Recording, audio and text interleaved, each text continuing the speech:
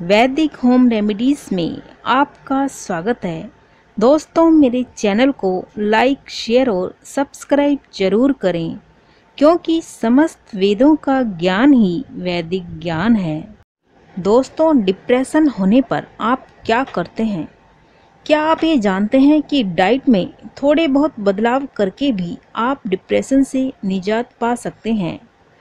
हाल ही में हुई एक रिसर्च के मुताबिक खाने पीने की कई ऐसी चीज़ें हैं, जिनके सेवन से मूड फ्रेश होता है।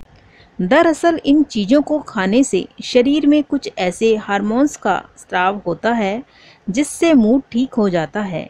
अगर आपको भी डिप्रेशन की समस्या है तो इन मसालों को डाइट में सेवन करना आपके लिए फ़ायदेमंद हो सकता है। कई बार ऐसा होता है कि हम तनाव दूर करने के लिए दवाइयाँ लेना शुरू कर देते हैं लेकिन हर बार दवा लेना सही नहीं है।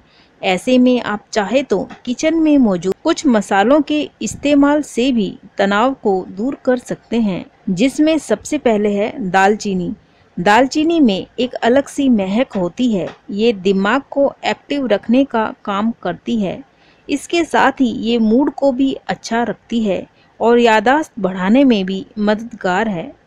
दूसरा है केसर। केसर को खुशी का मसाला कहा जाता है। अध्ययनों की माने तो केसर के इस्तेमाल से टेंशन दूर होती है। ये मूड को लाइट करने का काम करता है। तीसरा है हल्दी। पीली हल्दी के इस्तेमाल से भी मूड अच्छा होता है। इसमें एंटी इन्फ्लामेटरी और एंटीऑक्सीडेंट की अच्छी मात्रा पाई जाती है, जिससे मूड बेहतर रहता है। इसी तरह वैदिक होम रेमेडीज़ के अगले एपिसोड में हम आपके लिए आयुर्वेद से जुड़ी घरेलू और रोचक जानकारियाँ लेकर वापस आएँगे।